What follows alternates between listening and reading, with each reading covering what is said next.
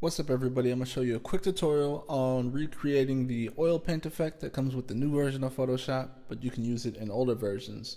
You can create an action and reuse it over and over and over, create your own, you know, various variation on it, um, you know, for whatever you want to do. But it basically smooths out the skin and kind of gives a real cool look to it. Um, just in case you don't know what it looks like, the oil paint effect, I'm going to duplicate this layer real fast, hitting Command J, go to Filter, oil paint. So this is basically uh, the uh, effect right here. So you can adjust, you know, how clean the lines are, uh, the scale of it, uh, the angle that the light hits it, the shine. Pretty cool effect. But anyway, it's not going to be as detailed as that, but it's going to be kind of close. So what you're going to do first is duplicate your image twice. I just grabbed one off of Google. This is Brittany Murphy. So duplicate your image twice. So I already have it once, twice. Okay. So now we're going to go to filter. Make sure you're on your top little layer here. Filter, other, and high pass. And by default it's set to 10, but we're going to bring it down to the radius to 3. So after you set it to 3, hit OK. Now you're going to change this blending mode right here to hard light. Alright, so basically that's without that on and with that on. See the details brought out a little bit more? And you're to merge these two layers. That's why we made a duplicate. Alright, by hitting, I think it's Command E. There we go. I forget what it is on PC. But you're to merge those two layers. Alright, so after you've done that, you're going to go to Filter, Stylize, and this uh, diffuse. So that's filter, stylized, diffuse. So the layer we just merged, right? And you're gonna set this to this anisotropic. I probably slaughtered that, but you get the idea. This one on the very bottom. And hit OK. So we're almost halfway there already. So now it kind of that what that did basically it smoothed out uh, the skin and created like a soft look so, you know, hiding that, you can see the very beginning stage and more detail, but a softer look. And, you know, get a little waviness going on. You can kind of see it on the tongue and the hair. All right, so that's what that did. Um, now we're going to to kind of emphasize that more. We're going to rotate the image. So go to image, rotate. You can say counterclockwise. You could do it the other way too. Either way and we're going to reapply that filter. So you can go to filter, other, um, I'm sorry, um, filter styles and diffuse, you know, same setting, or you can just um, press the little thing at the top. It's the the last used effect. It's just going to reapply it. So that's done now. So phone's going off. All right. Um, so now we're going to rotate the image back now. So what that did, basically it applies a filter at a little interesting looking angle and you rotate it to apply it again to give it a unique look. So now we're going to rotate the image back. So go back to image, rotate, and clockwise. Or if you had it the opposite way, you know, you just uh, making the image straight again. Um, so now that that's done, um, we're going to run smart sharpen. So go or filter, sorry, sharpen and smart sharpen. So once again, the layer that we rotated and applied this stuff, that layer, filter, sharpen, smart sharpen.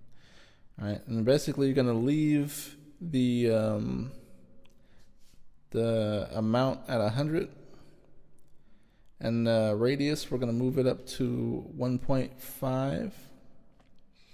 And um, make sure this is uh, set to Gaussian blur. If it isn't, usually this is like the default setting, but. Alright, and hit OK. Alright. So now, almost done. Uh, we're going to use the uh, curves tool to kind of bring out some contrast. So you can do this to taste, you know, how extreme you want to get with it. Um, I usually add a point. Um, you can see there's uh, three little lines here. One, two, three. I usually add mine like right about here, you know, and one at the uh, second to the last line there before it gets to the very end. And we're just gonna pull this down a little bit, you know, play around with it, see. I'll move this out the way a little bit so you can see the contrast. That's pulling up some of the whites there. I don't want that. Pull it down. Okay, maybe boost this up a little bit. Eh, I like it a little darker. So I'm taking the preview off so I can see the original. Okay, hit OK. So you can play around with that for a second. Make sure you get it how you like it. And once that's finished, you go to, um, I'm gonna go back to filter, blur, and um, see what we're gonna do here. I have to look at my little notes. Surface blur. Sorry about that. All right.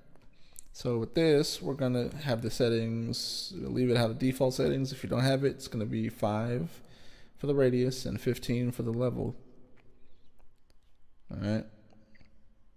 And once you have that all set, you hit OK. So what that did was basically it um, softened the lines that might have been created when we did the smart sharpen or when we use the smart sharpen tool. Um, and if there are any other artifacts left over, well, this is kind of a low res image, but if there were like little obvious artifacts, you can use this uh, little blur tool or smudge. What's it called? The uh, yeah, the smudge tool, little finger looking thing. And uh, the strength you're gonna have it from like 15 to 50 percent is probably as much as you want to go with that. And if we had like a real hard line we just kind of go over it very slightly. Uh, let's just pretend this hair was a little messed up. We just go over it see how it blurred it out a little bit made it a little uh, smoother looking. All right so that's basically it um, you know, clean up whatever little artifacts you have, and you're pretty much done. So we can compare the original with uh, our little cleaned up version. So it kind of looks comic booky, kind of, but it just creates this real nice soft uh, texture to you know skin and the hair. Once again, it's not quite the same as the oil paint effect because you don't have as much control of direction and whatnot. Um, but it's pretty damn close for you know if you didn't have the new version of Photoshop. Hopefully that helped you guys. Um, and if you wanted, oh, if you were curious on how to make this into an action, you know, you'd uh, set up by hitting this uh, little button here, create new action, title it whatever you want, and it would start recording. And you'd follow all these steps. And once you're finished, you'd hit the little stop button, and that creates the action of all those steps.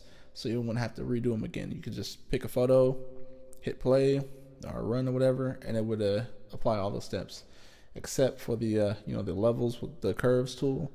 Um, you probably want to do that manually, so I don't know if I would use an action per se with this, but you know if you don't really care about the curves tool, you want to do that afterwards, you can, but just another way to create an action using this. But that's how you make an oil paint effect using any older version of Photoshop. Well, not any, but older versions of Photoshop if you don't have CS6.